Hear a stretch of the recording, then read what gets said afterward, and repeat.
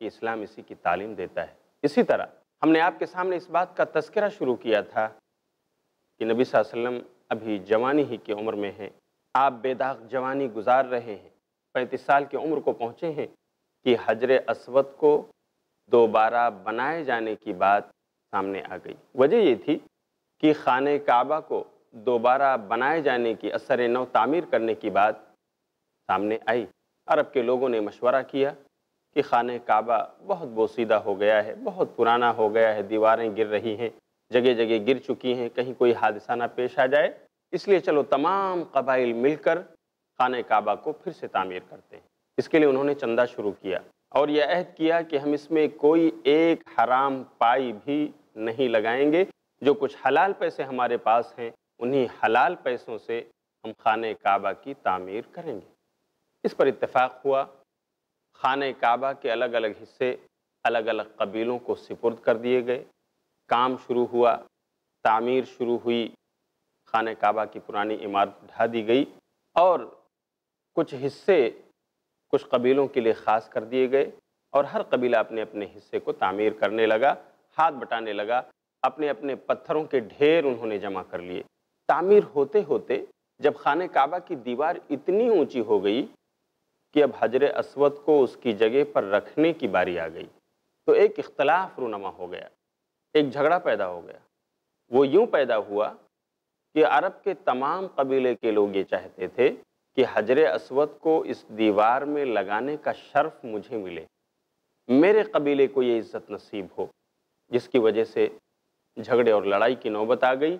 بحث و مباحثہ ہوتا رہا۔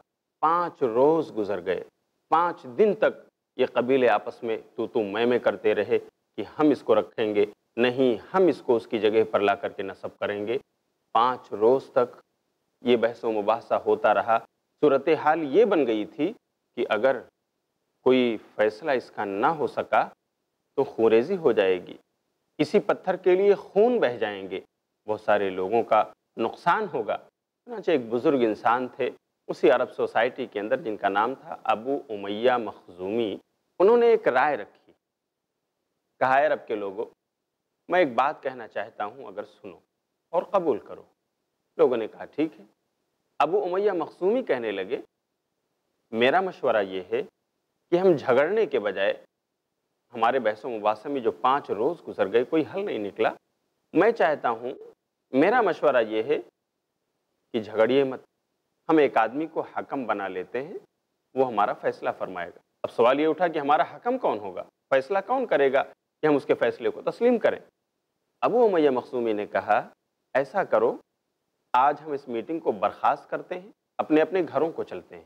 کل صبح سویرے سب سے پہلے جو خانہ کعبہ کے دروازے سے داخل ہوگا، اس آدمی کو ہم اپنا حکم، اپنا فیصل اور اپنا جج مانیں گے۔ وہ جو بھی فیصلے کرے گا، ہم اس کو تسلیم کر لیں گے۔ بات لوگوں کے سمجھ میں آ گئی۔ لوگوں نے کہا، ٹھیک ہے، آپ کا مشورہ اچھا ہے، ہم اسے قبول کرتے ہیں. میٹنگ برخاست ہوئی، لوگ اپنے اپنے گھروں کو چلے گئے۔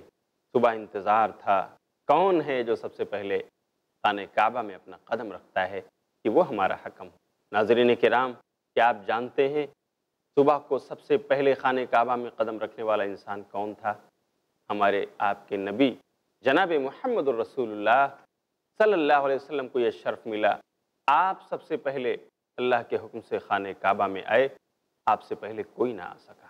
جب لوگوں کو پتہ چلا تو لوگ بیک زبان ہو کر کہنے لگے حاد الامین حاد الامین رضینہ ہو یہ امین آ گئے۔ یہ تو ہمارے امین آ گئے جو امانت دار ہیں۔ ہم ان کے فیصلے سے راضی ہیں۔ نبی صلی اللہ علیہ وسلم نے سارے معاملات کو دیکھا، ان کی باتیں سنی، ان کے جھگڑے سنے اور پھر آپ نے قبائل عرب سے کہا کہ ایک چادر لاؤ۔ آپ نے چادر طلب کی، وہ چادر آپ کے سامنے حاضر کی گئی۔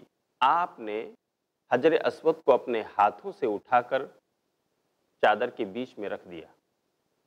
پھر آپ نے عرب کے تمام قبیلوں سے کہا کہ آپ کے سردار ان سے میری گزارش ہے کہ ہر قبیلہ کا جو سردار ہے، وہ اس چادر کے کونے کو پکڑے۔ ہر قبیلے کے سردار کا ہاتھ اس چادر کے ساتھ جڑ گیا۔ سب نے اٹھایا، ہاتھ لگایا۔ نبی صلی اللہ علیہ وسلم نے کہا کہ اس چادر کو لے کر اس پتھر کے ساتھ دیوار کی طرف چلو۔ تمام قبیلے کے لوگ اس چادر کو پکڑ کر حجر اسود کو اٹھا کر جو اس چادر میں رکھا ہوا ہے، اسے لے کر کے خانہ کعبہ کی دیوار کے پاس پہنچے۔ نبی صلی اللہ علیہ وسلم نے کہا، ٹھہرو۔ اور آپ نے جا کر پھر اس حجر اسود کو، اس بلیک سٹون کو آپ نے اپنے ہاتھوں سے اٹھایا اور دیوار پر لا کر اس کی جگہ میں نصب کر دیا۔ سارے لوگ خوش۔ سب نے اس فیصلے کی تعریف کی اور سب نے بخوشی اس کو تسلیم کر لیا اور پانچ روز تک چلنے والا جھگڑا مٹ گیا۔ ختم ہو گیا۔ لوگ خونریزی اور قتل و غارت گری سے بچ گئے اور اس طرح نبی صلی اللہ علیہ وسلم نے پینتیس سال کی عمر میں جب ابھی آپ نبی نہیں بنائے گئے ہیں نبوت سے پانچ سال پہلے آپ نے حجر اسود کے تعلق سے اٹھنے والا تنازع، ہونے والا جھگڑا آپ نے اس کو اپنے فیصلے سے مٹا دیا۔